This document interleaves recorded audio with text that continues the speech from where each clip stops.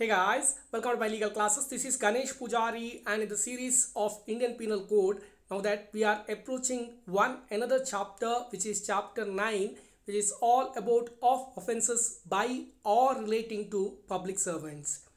What or who are public servants that we have already understood while studying section 21. If you have not watched, watch that lengthy video because that gives complete information as to who is a public servant or who and all are public servants. Now, when we are studying chapter 9, you need to remember that the initial few sections, that is starting from section 161 to 165A are repealed and we are studying from section 166 to 171 and in that series this is my first video where we are going to understand section 166 which is all about public servant disobeying law with intent to cause injury to any person now we are understanding this particular section with the help of chart as well as three very important case laws why to waste time let's get into the first slide Section 166 discusses about public servant disobeying law with intent to cause injury to any person. First thing first, let's quickly read through the Act provision and then let's get into my chart.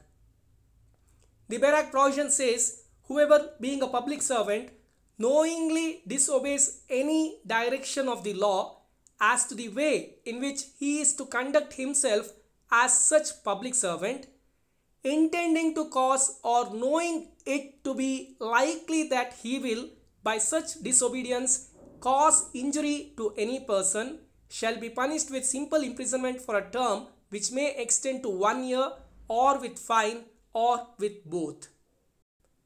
The Bare Act provision is quite easy and I am making it further easy with the help of my chart which says a public servant knowingly disobeys any direction of the law as to the way in which he is to conduct himself as such public servant with an intention to cause or knowing that his such disobedience is likely to cause injury to any person shall be punished with simple imprisonment of one year or fine or both. What and all that you are observing in the chart. First thing, he needs to a public servant. Second one, he need to know that certain conduct of himself is disobedience to the direction of the law. Law is expecting him to do certain conduct in a certain way but he disobeys any direction of the law. Now that conduct is done with an intention or with the knowledge that his such disobedience is likely to cause injury to any person. Now the first thing he is not conducting in the way that law expects him to be, he disobeys it and over and above that he is know that by doing so he is causing injury to someone else or he is doing so with an intention to cause injury to another person.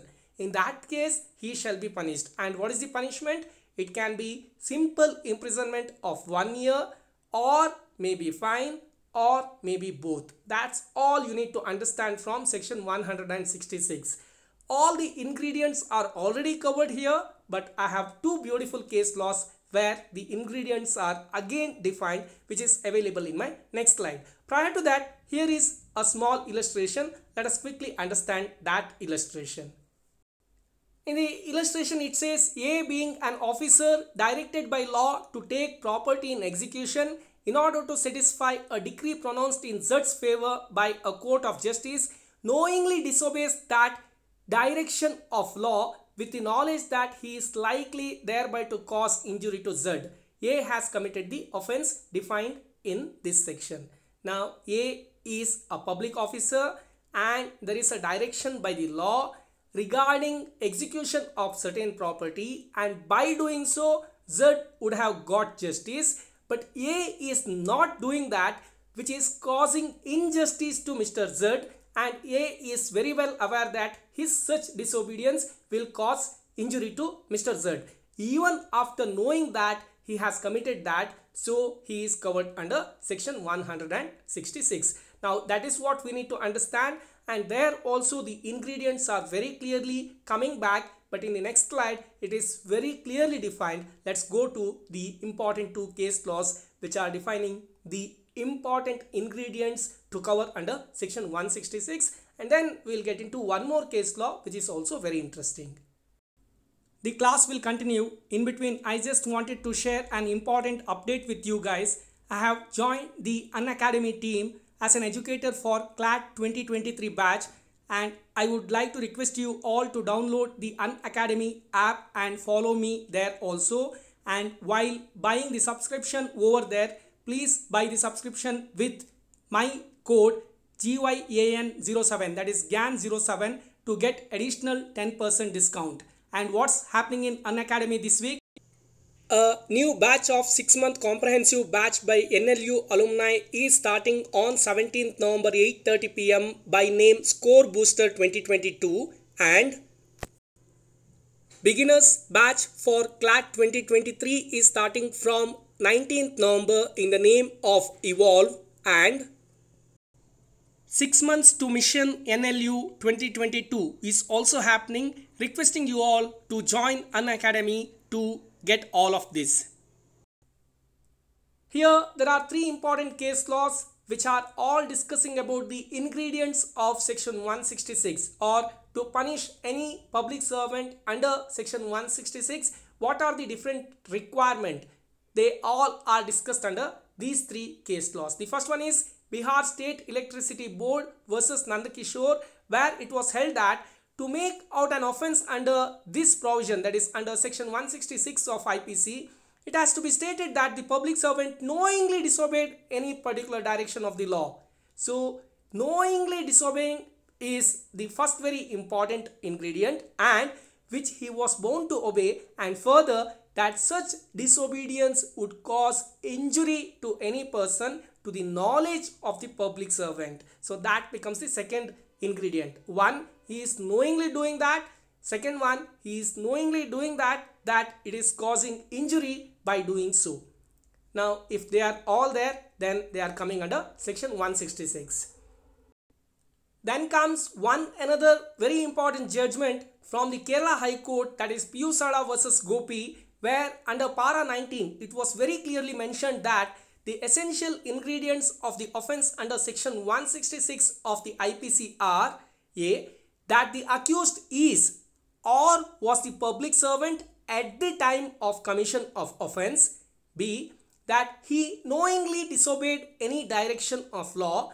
And C. That he knew or intended that by so disobeying he will cause injury to any person. I don't think there is any further explanation required here. They are in very simple English and I hope that is understood. Then comes one another important judgment from Telangana High Court that is Mukesh Kumar versus G. Srinivasa Reddy. Here they have mentioned four important ingredients. What are they? The first one being the accused must be a public servant. If you read Kerala High Court judgment, they have very clearly mentioned is or was when he committed such offense okay he need to be public servant. That is what we need to understand. Secondly there must be a direction of the law as to how he should conduct himself.